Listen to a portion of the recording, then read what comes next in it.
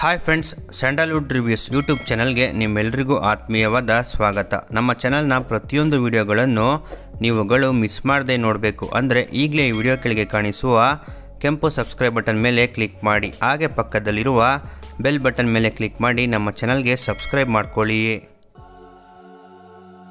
ಚಂದ್ರು ಸಂಜೆ ಸುಮಾರು ಆರು ಮೂವತ್ತರ ಸಮಯದಲ್ಲಿ ಹೋಟೆಲ್ ಒಂದರಲ್ಲಿ ಕೂತು ಕಾಫಿ ಕುಡಿಯುತ್ತಿದ್ದ. ಇದೇ ಸಮಯದಲ್ಲಿ ಅದೇ ಹೋಟೆಲ್ಗೆ ಅಪ್ಪ ಮಗಳಿಬ್ಬರು ಬಂದರು. ಈ ಅಪ್ಪ ಮಗಳು ಚಂದ್ರ ಎದುರುಗಡೆ ಇದ್ದ ಟೇಬಲ್ನಲ್ಲೇ ಕೂತರು. ಈ ಅಪ್ಪ ಹಳೆ ಶರ್ಟ್ ಹಾಕಿಕೊಂಡಿದ್ದ. ಈ ಶರ್ಟ್ನಲ್ಲಿ ಮೊದಲ ಎರಡು ಗುಂಡಿ ಕೂಡ ಇರಲಿಲ್ಲ. ಈತ ನೋಡೋಕೆ ಒಳ್ಳೆ ಕೂಲಿ ಕೆಲಸ ಮಾಡುವ ವ್ಯಕ್ತಿಯ ರೀತಿ ಕಾಣಿಸುತ್ತಿದ್ದ. ಆದರೆ ಈತನ ಮಗಳು ಸುಮಾರಾಗಿದ್ದ ಲಂಗ ಬ್ಲೌಸ್ ಹಾಕಿ ನೋಡೋಕೆ ಮಿಡಲ್ ಕ್ಲಾಸ್ ಹೆಣ್ಣು ಮಗಳ ರೀತಿ ಕಾಣಿಸುತ್ತಿದ್ದಳು. ಮಗಳ ತಲೆ ಕೂದಲಿಗೆ ಎಣ್ಣೆ ಹಾಕಿ ನೀಟಾಗಿ ಬಾಚಲಾಗಿತ್ತು. ಮಗಳ ಮುಖದಲ್ಲಿ ಒಂದು ರೀತಿ ಖುಷಿ ಕಾಣಿಸುತ್ತಿತ್ತು. ಅಪ್ಪ ಹೋಟೆಲ್ಗೆ ಕರ್ಕೊಂಡು ಬಂದಿರೋದು ಮಗಳಿಗೆ ಸಂತೋಷನೋ ಸಂತೋಷ. ಹೋಟೆಲ್ನಲ್ಲಿ ಜನಗಳು ತಿನ್ನುತ್ತಿದ್ದ ವೆರೈಟಿ ಊಟವನ್ನು ನೋಡಿ ಮಗಳು ತಾನು ಯಾವಾಗ ತಿಂತೀನೋ ಅಂತ ಬಾಯಿ ಚಪ್ಪರಿಸುತ್ತಾ ಎಲ್ಲ ತಟ್ಟೆಗಳನ್ನೇ ನೋಡುತ್ತಿದ್ದಳು. ಚಂದ್ರು ಈ ಅಪ್ಪ ಮಗಳನ್ನೇ ನೋಡುತ್ತಿದ್ದ. ಹತ್ತು ನಿಮಿಷದ ನಂತರ ಎರಡು ಗ್ಲಾಸ್ ನೀರು ಎತ್ತಿಕೊಂಡು ಬಂದು ಅಪ್ಪ ಮಗಳ ಮುಂದೆ ಇಟ್ಟು, ಸರ್, ಏನು ಕೊಡಲಿ? ಅಂತ ಸಪ್ಲೈಯರ್ ಕೇಳಿದ್ದ. ಆಗ ಅಪ್ಪ ನನ್ನ ಮಗಳಿಗೆ ಒಂದು ಮಸಾಲೆ ದೋಸೆ ಕೊಡಿ ಅಂತ ಹೇಳಿದ ಅಪ್ಪ ಮಗಳಿಗೆ, ದೋಸೆ ಕೊಡಿ ಎಂದು ಹೇಳಿದ್ದು ಕೇಳಿ ಆ ಹುಡುಗಿಯ ಕಣ್ಣುಗಳು ಅರಳಿದವು. ತನ್ನ ತಂದೆ ತನಗಾಗಿ ಮಸಾಲೆ ದೋಸೆ ಆರ್ಡರ್ ಮಾಡಿದ್ದು ಕೇಳಿ ಆ ಮಗಳಿಗೆ,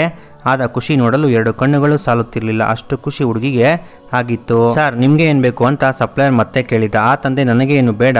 ನನ್ನ ಮಗಳಿಗೆ ಒಂದು ಮಸಾಲೆ ದೋಸೆ ಕೊಡಿ ಸಾಕು ಎಂದು ಹೇಳಿದ. ಸ್ವಲ್ಪ ಹೊತ್ತಿನಲ್ಲೇ ಬಿಸಿ ಬಿಸಿ ಮಸಾಲೆ ದೋಸೆ, ಸಾಂಬಾರ್, ಚಟ್ನಿ ಎಲ್ಲ ತಂದು ಸಪ್ಲೈಯರ್ ಟೇಬಲ್ ಮೇಲೆ ಇಟ್ಟ ಮಗಳಿಗೆ ದೋಸೆ ನೋಡಿದ ಕೂಡಲೇ ಮತ್ತಷ್ಟು ಖುಷಿಯಾಯಿತು. ಬಾಯಿ ಚಪ್ಪರಿಸುತ್ತಾ ಮಗಳು ದೋಸೆ ತಿನ್ನಲು ಶುರು ಮಾಡಿದಳು. ತನ್ನ ಮಗಳು ದೋಸೆ ತಿನ್ನುತ್ತಿರುವುದನ್ನು ತುಂಬ ಖುಷಿಯಿಂದ ತಂದೆ ನೋಡುತ್ತಿದ್ದರು. ಆ ತಂದೆಗೆ ಮಗಳು ದೋಸೆ ತಿಂತಿರೋದು ನೋಡಿ ತಾನೇ ತಿಂದಷ್ಟು ಖುಷಿಯಾಯಿತು. ತಂದೆ ಸಪ್ಲೈಯರ್ ಇಟ್ಟಿದ್ದ ಗ್ಲಾಸ್ ಎತ್ಕೊಂಡು ನೀರು ಕುಡಿಯುತ್ತಿದ್ದರು. ಆ ಸಮಯದಲ್ಲಿ ತಂದೆಯ ಫೋನ್ ರಿಂಗ್ ಆಯಿತು. ಈ ಫೋನ್ ಹಳೆ ಒಡೆದು ಹೋಗಿದ್ದ ಫೋನ್. ಫೋನ್ ಎತ್ತಿದ ಅಪ್ಪ ಮಾತಾಡಲು ಶುರು ಮಾಡಿದರು. ಫೋನ್ ಮಾಡಿದ್ದು ಈತನ ಸ್ನೇಹಿತ. ಇವತ್ತು ನನ್ನ ಮಗಳ ಹುಟ್ಟುಹಬ್ಬ.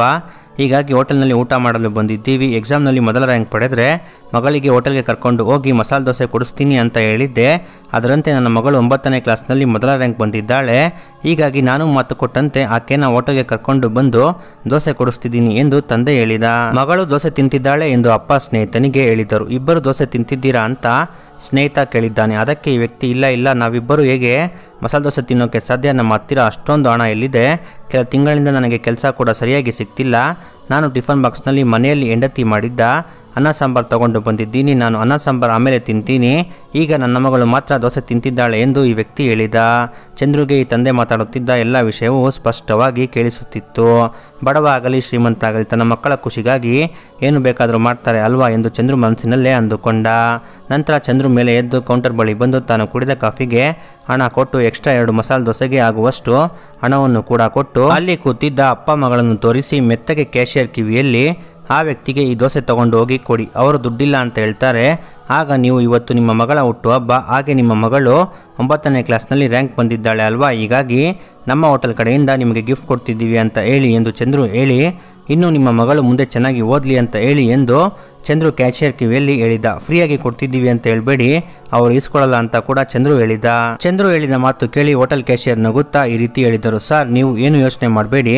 ಇವತ್ತಿಗೆ ಆ ತಂದೆ ಮಗಳು ಇಬ್ಬರು ನಮ್ಮ ಹೋಟೆಲ್ನ ಅತಿಥಿಗಳು, ಇವರ ಬಗ್ಗೆ ನಮಗೆ ಮಾಹಿತಿ ತಿಳಿಸಿದ್ದಕ್ಕೆ ನಿಮಗೆ ನಾನು ಧನ್ಯವಾದ ಹೇಳ್ತೀನಿ. ನೀವು ಕೊಟ್ಟಿರುವ ಈ ದುಡ್ಡು ವಾಪಸ್ ಇಸ್ಕೊಳ್ಳಿ ಇದೇ ದುಡ್ಡನ್ನು ನೀವು ಬೇರೆ ಏನಕ್ಕಾದರೂ ಒಳ್ಳೆಯ ಕೆಲಸಕ್ಕೆ ಬಳಸಿ ಎಂದು ಚಂದ್ರುಗೆ ಹೇಳಿ, ಚಂದ್ರು ಕೊಟ್ಟ ಎಕ್ಸ್ಟ್ರಾ ಮಸಾಲೆ ದೋಸೆ ಹಣವನ್ನು ಆತನಿಗೆ ಕ್ಯಾಶಿಯರ್ ವಾಪಸ್ ಕೊಟ್ಟರು. ನಂತರ ಸಪ್ಲೈಯರ್ನ ಕರೆದು ಎರಡು ಮಸಾಲೆ ದೋಸೆಗಳನ್ನು ಅಪ್ಪ ಮಗಳಿಗೆ ತಗೊಂಡೋಗಿ ಕೊಡುವಂತೆ ಕ್ಯಾಶಿಯರ್ ಹೇಳಿದರು. ವೇಟರ್ ದೋಸೆ ತಗೊಂಡೋಗಿ ಟೇಬಲ್ ಮೇಲೆ ಇಟ್ಟ ತಕ್ಷಣ ಆ ತಂದೆ ಶಾಕಾಗಿ, ಅಯ್ಯಯ್ಯೋ, ನಾನು ಇನ್ನೊಂದು ದೋಸೆ ಆರ್ಡರ್ ಮಾಡಲೇ ಇಲ್ವಲ್ಲ? ಎಂದು ಹೇಳಿದರು.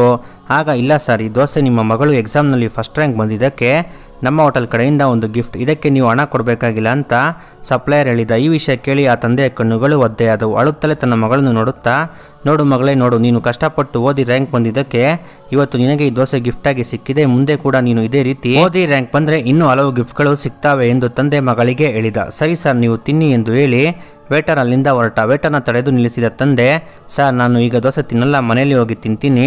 ನೀವು ಈ ದೋಸೆನ ಪಾರ್ಸಲ್ ಕಟ್ಟಿ ಕೊಡ್ತೀರಾ? ಅಂತ ಕೇಳಿದರು ಯಾಕೆ ಸರ್ ಇಲ್ಲೇ ದೋಸೆ ತಿಂದರೆ ಏನಾಗುತ್ತೆ? ಅಂತ ಸಪ್ಲೈಯರ್ ಕೇಳಿದ. ಆಗ, ಅಪ್ಪ ಇಲ್ಲ, ನನ್ನ ಹೆಂಡತಿಗೆ ಮಸಾಲೆ ದೋಸೆ ಅಂದರೆ ತುಂಬ ಇಷ್ಟ. ಹೀಗಾಗಿ ನಾನು ಮನೆಗೆ ತೊಗೊಂಡು ಹೋಗಿ ಇಬ್ಬರು ಒಟ್ಟಿಗೆ ಕೂತು ತಿಂತೀವಿ. ಪ್ಲೀಸ್ ಪಾರ್ಸಲ್ ಕಟ್ಟಿ ಕೊಡಿ ಸರ್ ಅಂತ ತಂದೆ ಹೇಳಿದ.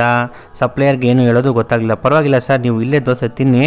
ಮನೆಗೆ ಅಂತ ಬೇರೆ ಮೂರು ದೋಸೆ ಪ್ಯಾಕ್ ಮಾಡಲು ಹೇಳಿದ್ದೀನಿ. ಅದನ್ನು ಕೊಡ್ತೀನಿ ಎಂದು ಹೇಳಿ ಆ ಸಪ್ಲೈಯರ್ ತನ್ನ ದುಡ್ಡು ಕೊಟ್ಟು ತಂದೆ ಮಗಳಿಗೆ ಮೂರು ದೋಸೆ ಪಾರ್ಸಲ್ ಕಟ್ಟಿಸಿ ಕೊಟ್ಟ.